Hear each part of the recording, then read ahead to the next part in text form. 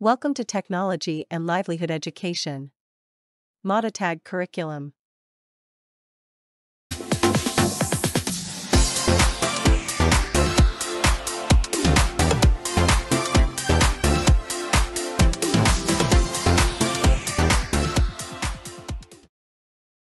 Technology and Livelihood Education. Information and Communication Technology. Our topic is Word Processing Software. The auto table of contents of the Microsoft Word. The content standard for this lesson is to demonstrate an understanding of using productivity software.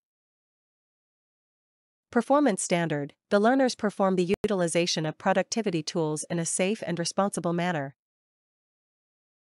The learners shall be able to create MS Word documents with page breaks, auto tables of contents, mail merge, and references.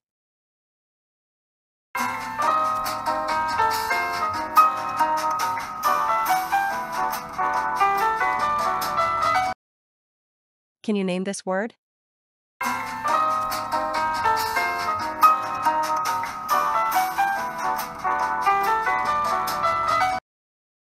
Have you seen a table of contents in books?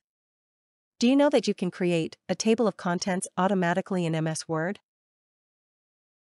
How to add auto table of contents.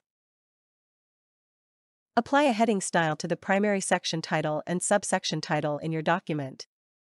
For example, you have an introduction section, chapter 1, chapter 2, and chapter 3. Apply the heading style of your choice. Heading styles are available in the Home tab. Place the insertion point on the page where you want to place the table of contents. Go to the Reference tab and click on Auto Table of Contents ribbon tab. An automatic table of contents will appear in your document. In using Auto Table of Contents, one should be observant if the page number updates as you update or make changes in your document. The word processing application will not automatically update the page number of each section of your document unless you update it. Let's practice. Open a new document. In page 1, type in chapter 1, then command page break. On page 2, type in chapter 2, command page break twice.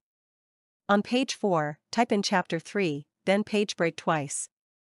On page 5, type in chapter 4, apply heading styles. Apply auto table of contents. You can modify and enhance the appearance of your document. Take note of the page number of each chapter.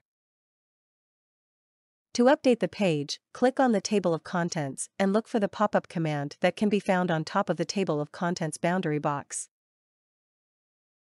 Or you can also use the Update Table icon.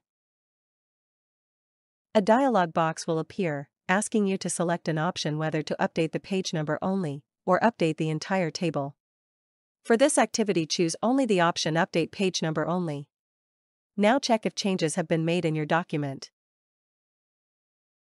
A time to remember.